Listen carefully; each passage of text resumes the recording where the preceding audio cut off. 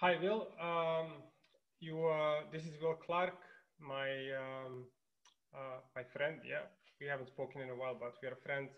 Uh, you're a world champion triathlete. Uh, you were part of the triathlon team, which is a, a marketing project I did uh, decades ago, which I enjoyed a lot. There was maybe 12 people at the peak, a lot of world champions like you. Yeah. And uh, you're a British champion as well. And um, I don't know, you're a funny guy. You're a controversial guy.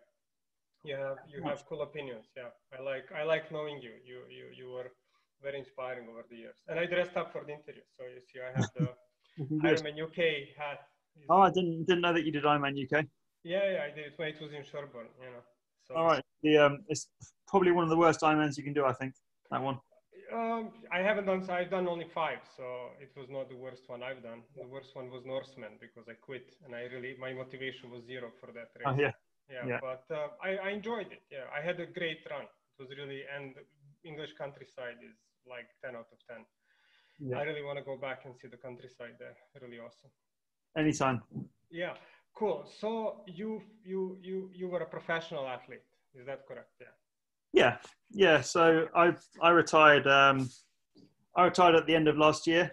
Um, stopped racing. Had a long career. I was going since 2000, and um, I was professional from probably there's no definite start time, but I started making money probably when I was about 2005, I think.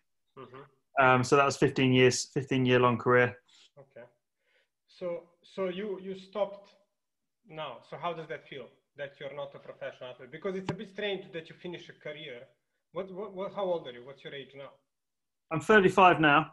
Mm-hmm. Um, you know, 35. It's not. It's not particularly old. I definitely had probably had some more good years in me, if if I really wanted to. But um, I, in the end, I didn't really want to. I, I was, um, I thought I put everything, um, everything that I had into it. Um, I wasn't going to get much better. The uh, financial, um, it's not, it's, it's getting harder and harder to make money in triathlon as well. I'm sorry, uh, Will. I just have to take this. It's my mom. She's calling. My my kid could be. This is going to be part of the interview. Cool. Just let me see. Just a second. Hello.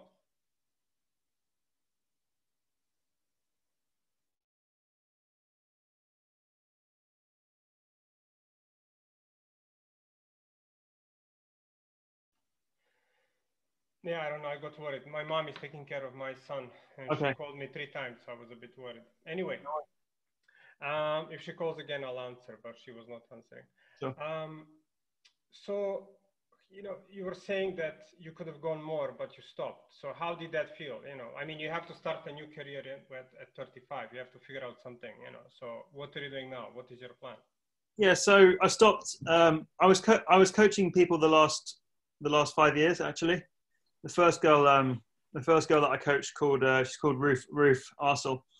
Um, she's she also ended up being my most um, my most successful athlete at the moment. She won um, she won Ironman Hawaii overall um, overall as an age grouper last year, and she's the second fastest age grouper um, to compete in that race. So she's gone she's gone pro this year. So she was good for me. Um, kind of it obviously gives you some credibility if you can bring an athlete from pretty average to um, to to exceptional. Um, but yeah, I, I, it just I picked up athletes along the way. Kind of it, it grew each year, and it, it, grew to the point where I could finish. I could finish um, doing triathlon, and it wouldn't really make a dent in my um, in my uh, in my salary. So I I wasn't I just had to ask myself the question: Do you want to? Uh, do you want to carry on doing this? Do you have any more, any more thing, any more, any more energy left to give to it, or do you want to um, finish now and then concentrate on the on the next thing? Yeah, uh, and well, but um, just ask you. So, um, what, what do you think?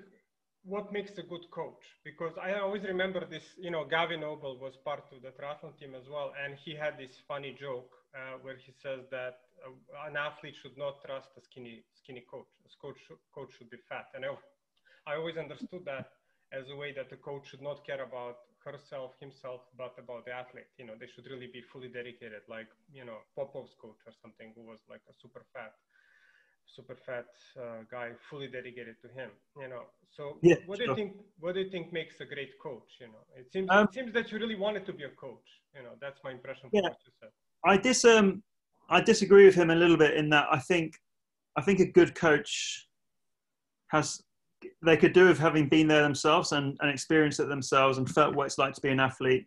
Obviously, when you're an athlete, you put your heart into soul about discovering um, discovering how to how to be the best, how to um, you kind of go through that whole journey yourself. So you're kind of in the best position to deliver that on to, on to deliver that on someone else.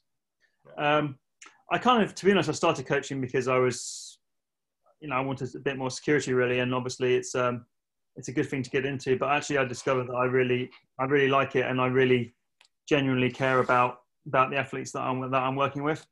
So I think that equipped me quite well, and um, I think it also shows shows in my coaching that you know I, I care about those guys and want the best for them. If they're having a bad day, then I'm and I'm having a bad day as well with them.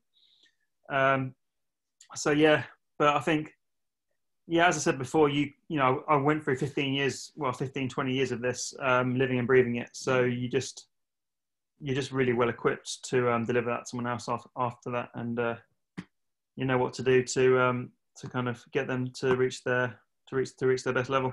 Yeah, and uh, who do you like to coach the most? Elites or complete beginners or? Um, to be honest, I like coaching. Um, I like coaching the middle range guys the best um, the guys who are um, you know very good age groupers who are looking who are knocking on the door of doing doing really well in um, in the best events. Um, like like Ironman Hawaii and 70.3 worlds and races like that. So they're um they can already swim. You know I don't necessarily have to teach them how to float in the water and how to uh, you know the correct technique so much. They kind of know pretty much what they're doing. It's more kind of guiding them through and uh, bouncing some ideas off them and um, getting them to the race in um, fresh and, and ready to go. I think that's um, that's kind of yeah. If I look at, if I look back at my career, that's kind of where that's that's obviously what I what I had to do with myself.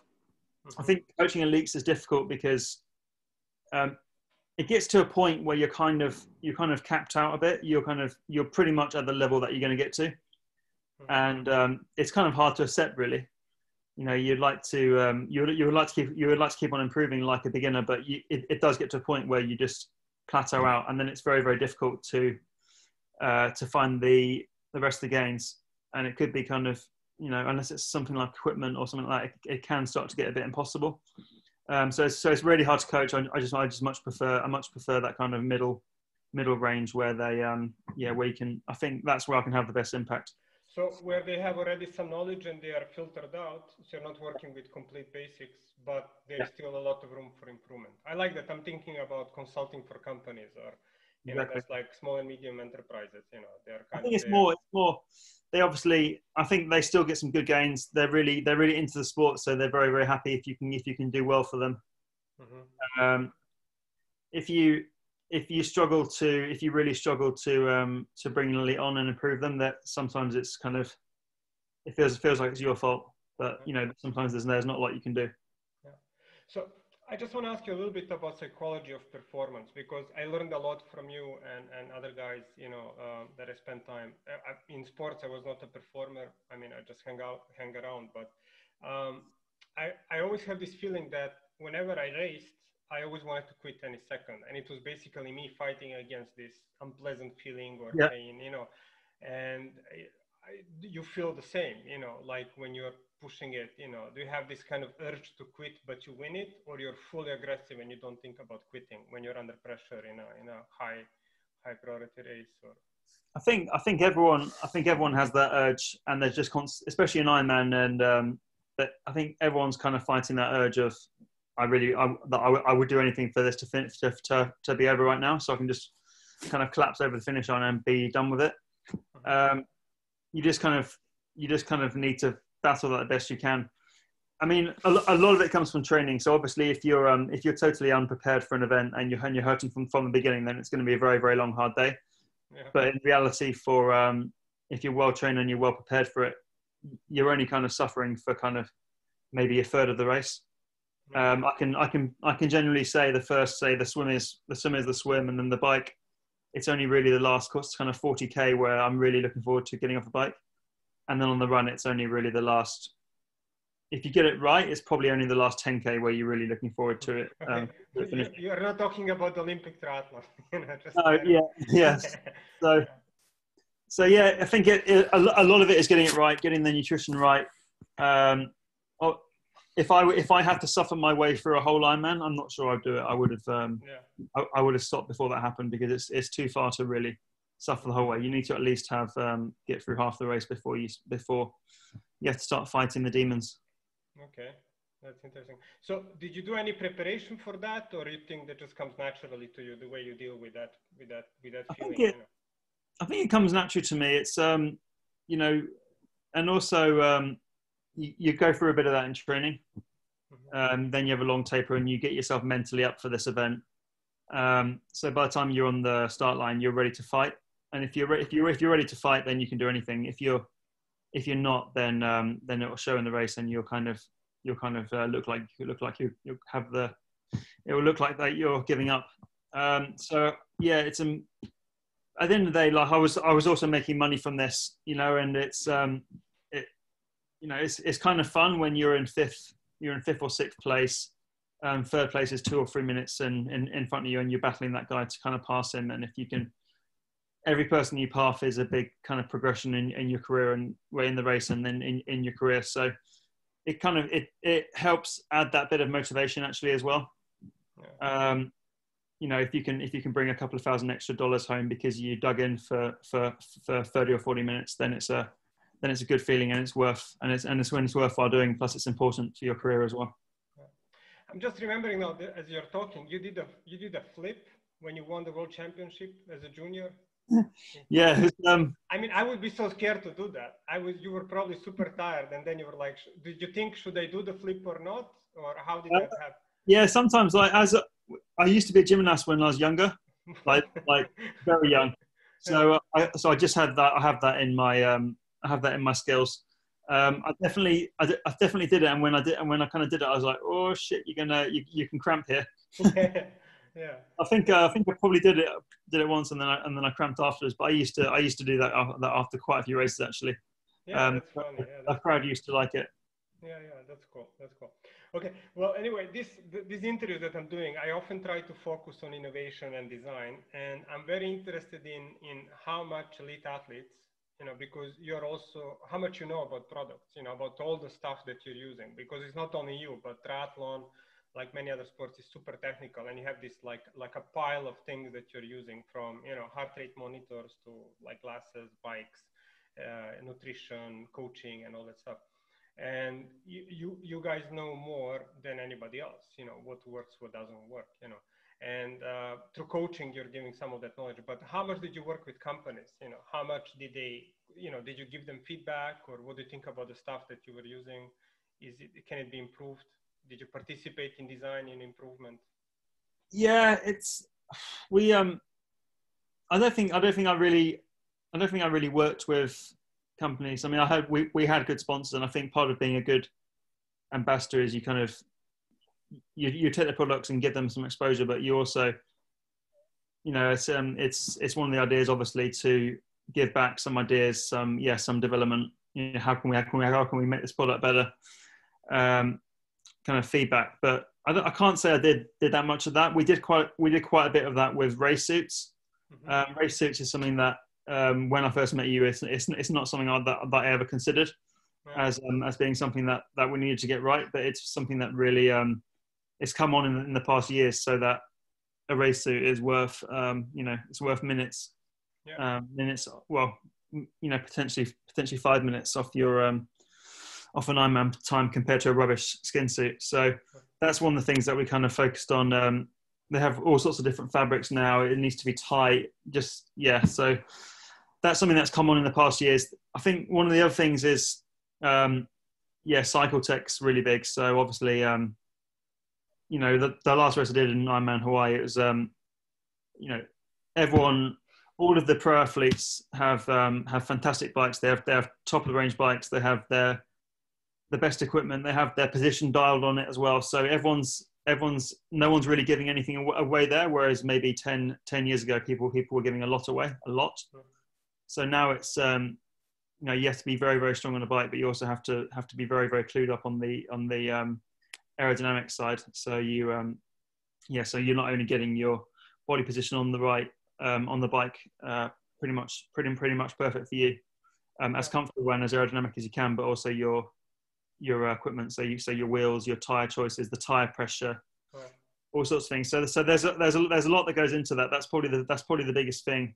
Um, in terms of in terms of uh, coaching, it's yeah, it's um, I use everyone's using everyone's using um, you know their sports watches these days and their Garmins and there's quite a few metrics that I that I use on on Training Peaks, um, which uh, which kind of has uh, has made things a lot easier in, in the past kind of kind of kind of five years. Um, like that goes a long way to um, to being able to you know to coach athletes better and, and to know exactly where they are in, in their training.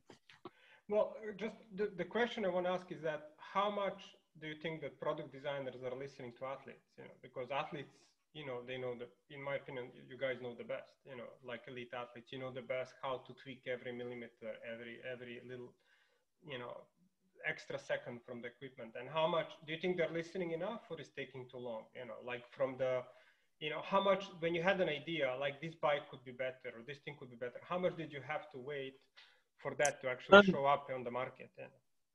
I think very few. I think very few. I think I think for for most people, it's above their um, it's above their pay grade to be um, yeah, it's above their pay grade, and I think I think they're not really listening much to the athletes and vice versa.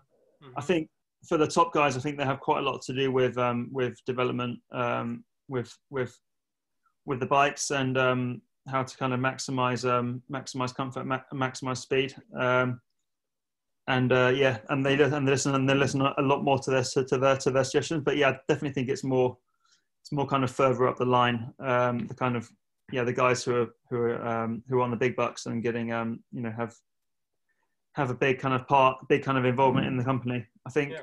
I never really I never really got into working with um, sponsors that much um, on things like that. It was just it was it was it was it was small things like they send me a skin suit and then I'd send a few suggestions back.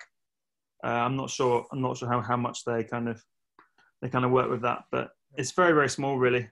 Yeah, I remember. I remember Conrad was working a lot with Specialized, and he knew Ned Overend, and uh, you know they spoke a lot, and he spoke to engineers, and he was pushing for 29 inch inch wheels in mountain bikes, which Yeah. was one of the big. You know now that's a standard, and you know 15 years ago he was the one pushing and asking them to make frames for him to research.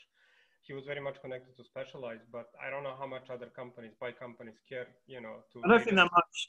Yeah, but he was very into um, he was kind of he was very into all that stuff, wasn't he? And he was um, he was he was Yeah. quite good like that. And I think they probably listened to him as well a lot a lot Yeah. more. Okay. Okay. Cool. So, where do you see the future of triathlon? You know, how do you see triathlon 30 years from now? Well, hopefully, hopefully next year there'll be some races back on, and we're through this, through this COVID thing. But I think this is gonna this is gonna take give the industry a pretty pretty pretty big hit. Unfortunately, Hmm. uh, I'm not sure how how well Ironman will, will recover from this um, for a start. But I think it's um, yeah, it's hard. It, it's hard to tell. It's um, the sport just keeps the sport keeps on getting bigger and bigger every year. Um, I think um, I think tech will, will continue to improve, you know, and I think, but I think in terms of um, in terms of athletes level, I think it's it's going to start to plateau now. I think it's um, it's risen quite fast over the years, and I think now it's probably it's not going to keep on rising as it is. I think the depth the depth of um, good athletes at the top will probably keep on continuing, but in terms of um, keeping getting faster, I'm not sure. I'm not sure it's um, it's going to get going to get a hell of a lot much hell of a lot faster than half faster than it already is. The past few years, it, um, the past few years, it got really, really fast because, as, as, as I said, everyone started getting really clued up on um, on how fast they can go on the bikes, and everyone started realizing if you do these things right, you can you can really fly. Yeah.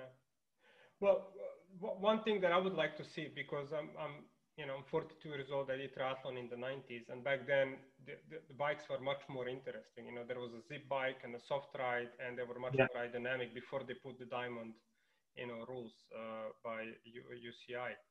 And uh, I would love to see more creative bikes. You know, I, I'm really a little bit. It's a little bit boring to see this always the, the standard looking bikes. You know, Yeah. that would really be cool. I hope that can come back in the next 10, 20 years or maybe someone can make a race with these really cool bikes and equipment you know that's outside the regulation so it goes on Yes, you've got the um, you've got the CPO. The CPO brought out a new bike last year that was pretty funny looking, and Yeah. you've got um, Ven- yeah Ventum and um, the Cervélo P5, P5, P3. They're, they're all pretty strange looking Yeah, but they're always they're always kind of the diamond shape still. They have to stick to that. You know, they cannot yeah. exit. Yeah, because of the regulation.